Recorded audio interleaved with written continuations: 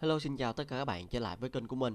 Trong video ngày hôm nay, mình sẽ review cho các bạn về NFT game Play to Earn AETHR tại aethr.work Thì cái tên của con game này rất là khó đọc các bạn. Các bạn search vào cái địa chỉ này, thì các bạn sẽ ra được cái NFT game này nha các bạn.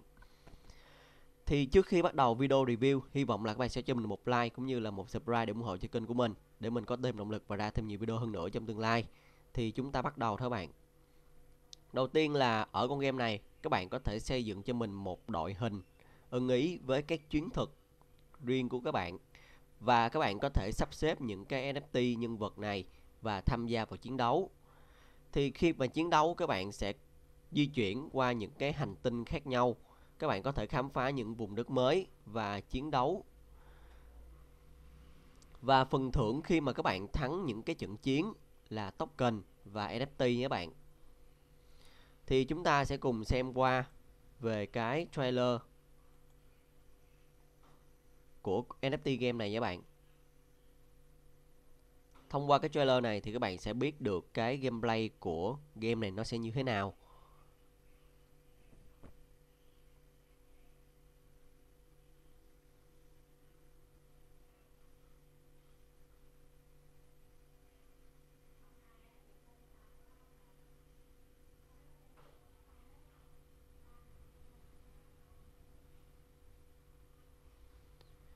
Thì con game này các bạn sẽ có thể chơi trên thiết bị mobile các bạn Như là Android và iOS.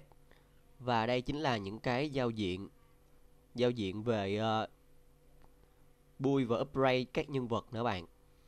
Và các bạn có thể tạo những cái đội hình Và các bạn thấy là nó sẽ bay lượn và chiến đấu trên không nữa bạn.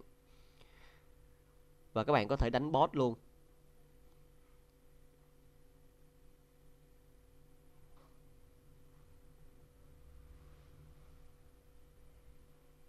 Các bạn thấy là cái gameplay của con game này mặc dù đó là những cái xếp đội hình và đánh uh, theo lượt khá là cũ nhưng mà cái việc mà nó bay lượn với chiến đấu cũng rất là mới mẻ trong cái mà con game này nó mang lại nha bạn.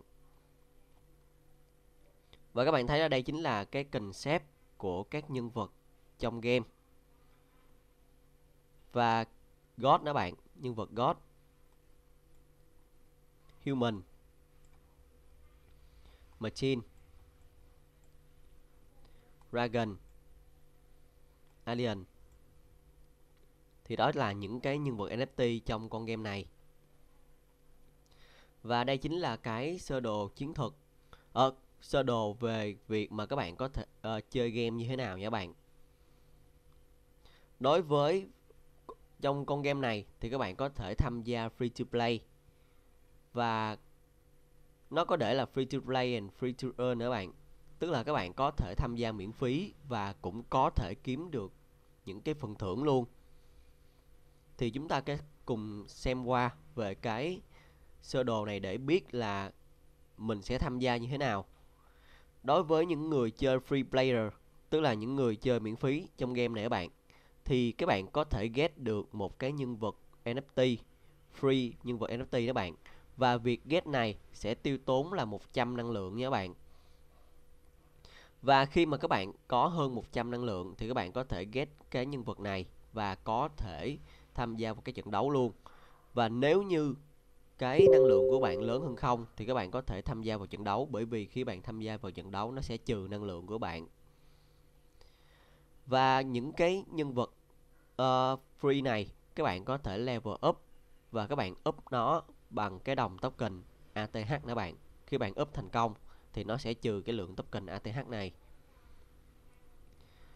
Và để tham gia vào các trận chiến thì các bạn cần phải có năng lượng. Thì khi bạn, năng lượng của bạn lớn hơn không thì tham gia vào một cái trận đấu. Các bạn có thể tham gia vào một trận đấu đó bạn. Khi mà bạn thắng thì nó sẽ trừ cho bạn, trừ đi một năng lượng. Mỗi ngày các bạn sẽ có khoảng 10 năng lượng để chơi game và nó trừ một năng lượng khi bạn thắng.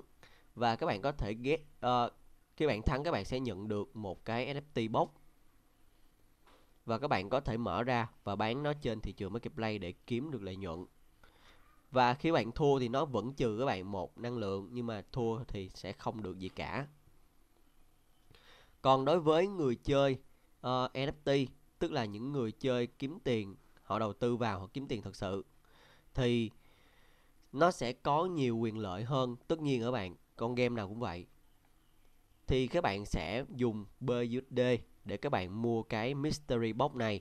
Các bạn mở cái mystery box này, các bạn sẽ được các nhân vật NFT thì nhân vật này, các bạn sẽ có thể level up và bằng đồng token ATH nữa bạn. Các bạn có thể tham gia vào chứ các bạn có thể awaken là một tính năng.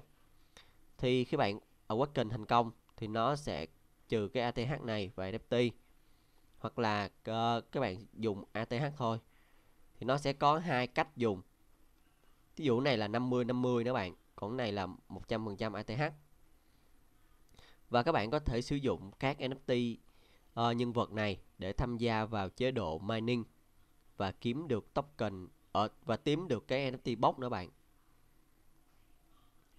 Và những nhân vật này các bạn sau khi mà các bạn có những cái tính năng phụ này rồi, nhân vật NFT mà các bạn mở từ Mystery Box này, các bạn có thể tham gia vào chơi game nữa. Thì nó giống như chơi đó bạn. Các bạn ờ, khi các bạn thắng, các bạn sẽ được, đặc biệt là những cái nhân vật mà mở từ Mystery Box này, khi mà các bạn thắng, nó sẽ trừ các bạn một energy. Nhưng mà các bạn có thể tham gia vào cái player Budget bull track các bạn và bơ dưới đây từ cái việc mà mua mystery box này nó sẽ vận chuyển thành phần thưởng cho bạn. Thì cái bull cái bull đây này, họ sẽ cho các bạn get thành bơ dưới đây luôn. Và nếu không thì họ sẽ trả cho các bạn bằng NFT box. Và khi bạn thua, các bạn sẽ không nhận được phần thưởng nữa. Thì cái phần mà NFT player đấy bạn, nó có lợi nhuận hơn cái việc mà free player này rất là nhiều. Bởi vì các bạn có thể nhận được trực tiếp là BUSD hoặc là NFT box. Còn cái free player này thì các bạn chỉ chỉ kiếm duy nhất là NFT box các bạn. Và các bạn thấy là những cái cái token chính của con game này là đồng token ATH thì nó chỉ dùng cho việc mà các bạn level up những cái nhân vật để bạn hoặc là các bạn tham gia vào những cái chế độ khác. Dùng để uh, nâng cao cái sức mạnh của nhân vật thôi. Còn cái việc mà các bạn kiếm lợi nhuận chính là bằng những cái NFT các bạn. Tiếp theo chúng ta sẽ đến với lộ trình phát triển của game này các bạn. Thì cái lộ trình phát triển của nó kéo dài từ quý 3 2021 đến 2024 luôn nha bạn. Vì vào quý 3 2021 thì con game này được hình thành ý tưởng và phát triển. Đến quý 4 thì nó có cái vòng private sale và liên kết với những cái partnership. Đến quý 1 2022 thì sẽ có cái bản alpha test nữa bạn, public test. Tính năng về guide và các đợt bán về cái gói starter pack. Và quý 2 2022 thì cái token chính của game sẽ được list trên các sàn các bạn. Và game sẽ có cái bản game chính thức và season 1 đến quý 3 2022 thì nó sẽ có những cái nhân vật NFT mới và khởi chạy cái season 2 và sẽ có tính năng về PvP mod, tức là các bạn có thể đánh nhau với những người chơi khác. Đến quý 4 2022 thì sẽ có cái chế độ về giải đấu. 2023 thì sẽ multi-chain tức là con game này nó sẽ phát triển trên nhiều cái blockchain khác nhau. Và các NFT blockchain đến 2024 thì sẽ phát triển lên thành một thế giới metaverse các bạn. Tiếp theo chúng ta sẽ đến với phần tokenomics. Thì cái đồng token chính của game là đồng ATH và là đồng BEP20 token các bạn, với nguồn cung giới hạn. Chính vì là BEP20 cho nên nó là, nó chạy trên mạng lưới của BSC và các bạn có thể sử dụng ATH để mua các mystery box nữa bạn sử dụng làm phí trên thị trường marketplace. Tham gia vào play to earn incentive treasury fund. Và các bạn có thể sử dụng ATH để staking để kiếm thêm lợi nhuận. Và cái đồng ATH này cũng là phần thưởng cho các chế độ như là Venture là bạn BBB, và các bạn có thể sử dụng ATH để upgrade các nhân vật. Nó sẽ là phần thưởng cho giải đấu tournament và các bạn có thể sử dụng ATH để tham gia mua các vật phẩm trong shop in game và các bạn có thể thấy là đây chính là cái bảng. À, các bạn thấy là 39 triệu 500 39 triệu 500 ngàn. À, token ATH là cho những cái nhà đầu tư thiên thần Angel Investor và họ sẽ được mua với cái giá là 0.025 và nó sẽ chiếm là 5% cái tổng lượng cung của cái đồng ATH này. Tổng lượng cung của nó sẽ là 790 triệu các bạn. Và sẽ là 6% unlock. Và cái 6% unlock này nó sẽ được chia theo cái phần vesting này các bạn, trong 12 tháng. Cái vòng fair lên sẽ là 5 triệu token. Thì phe lên là một vòng mà bán rất là minh bạch và rất là công bằng cho mọi cái người tham gia các bạn. Ai cũng đều có thể tham gia vào cái vòng phe lên này để mua token với cái giá là 0.04 và nó sẽ chiếm là 0.6 cái lượng cung của token. Và sẽ được TGE là 100% luôn các bạn. Nó không có thời gian nó không có uh, như chơi đó bạn các bạn sẽ nhận được 100% token sau khi mua ở cái vòng phe này luôn. Về thanh khoản và listing thì sẽ là 39 triệu 500 ngàn. Game Insurance, insurance là 181 triệu 700 ngàn các bạn. Sử dụng cho cái phần staking các bạn Trả thưởng cho staking thì sẽ là 150 triệu 100 ngàn. Cho advisor và partner sẽ là 39 triệu 500 ngàn. Team sẽ chiếm là 158 triệu. Về cái quỹ cho marketing sẽ là 79 triệu token. Và cái quỹ dùng để phát triển game sẽ là 55 triệu 300 ngàn token. Thì các bạn có thể xem những cái phần mà vesting của nó ở đây đó bạn. Các bạn thấy đây chính là cái team phát triển của NFT game này. Với đội ngũ đến từ Việt Nam nha bạn. Và CEO chính CEO là Đỗ Văn Huy. Và các bạn thấy là hầu như những cái avatar này đều là avatar thật.